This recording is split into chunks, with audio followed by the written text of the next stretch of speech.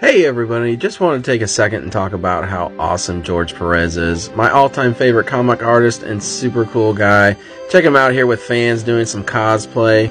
This is the first issue I ever read, drawn by George George Perez, a minor character called Stingray, still one of my all-time favorites. Discovered this in 1980 and really got me into superheroes and I've been hooked ever since. All of my passion for this stuff uh, is, originates from George Perez. An amazing guy. More cosplay fun. This one might be my favorite, however. really funny. Another all time favorite cover. But hey, we want to hear from you. What are your favorite George Perez issues, uh, whole series? Let us know what you guys think. Uh, he is one of the best.